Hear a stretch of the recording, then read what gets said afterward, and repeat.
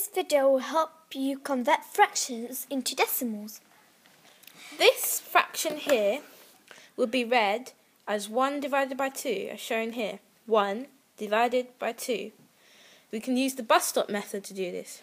We'll put the 1 here, 2 there, and we'll put three zeros.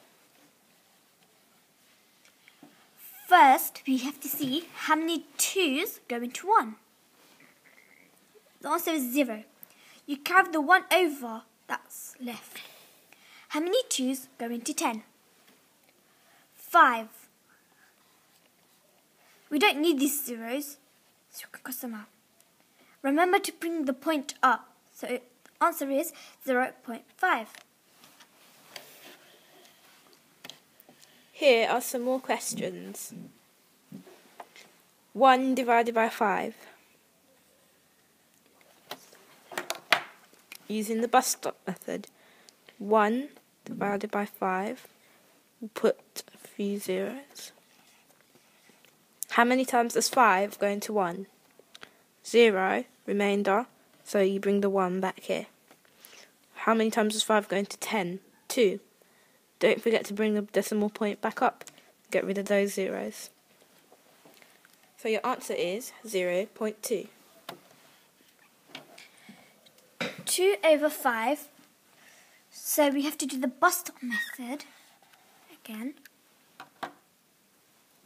So it'll be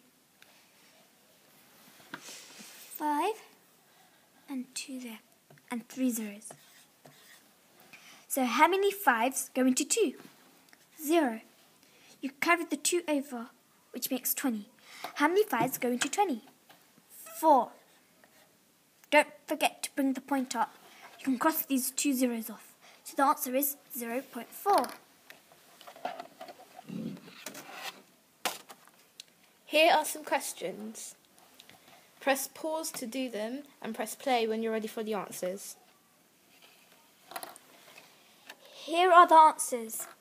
If you got them right, well done.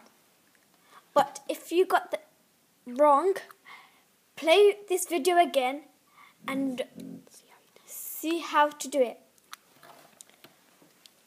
Thanks for watching. Please subscribe.